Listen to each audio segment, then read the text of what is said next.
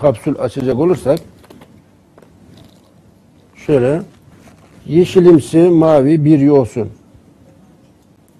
Aa, Çok ilginç. Rengi de çok güzel yalnız. Evet. Şöyle yeşilimsi bir yoğsun. Evet.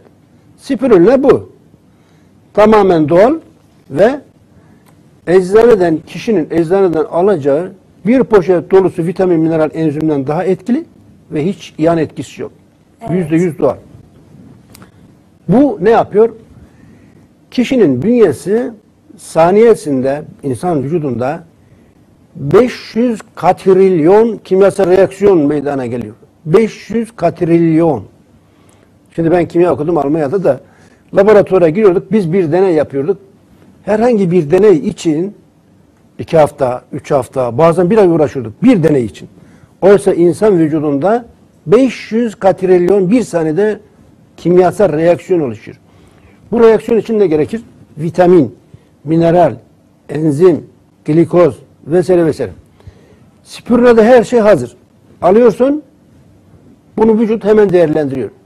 Şimdi 50 yıl öncesine göre meyvelerde, zepselerde vitamin, mineral, enzim oranı %50 azalmış.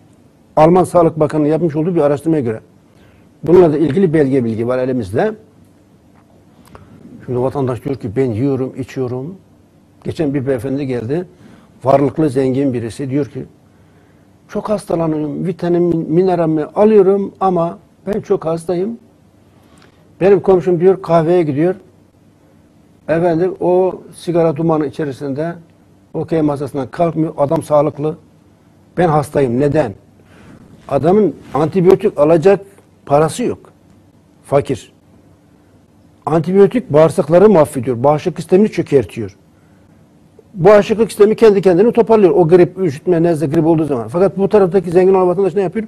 Multivitamin alıyor, antibiyotik alıyor, antidepresan alıyor, alıyor, alıyor, kendini zehirliyor. Farkına varmıyor. O ilaçlar faydalı zannediyor. Evet. Kendini zehirliyor, zehirliyor, zehirliyor. Diyor ki ben hep hastayım, o hep sağlıklı. Tabii sağlıklı. Adam ilaç kullanmıyor. İlaç kullanırsan hasta olursun.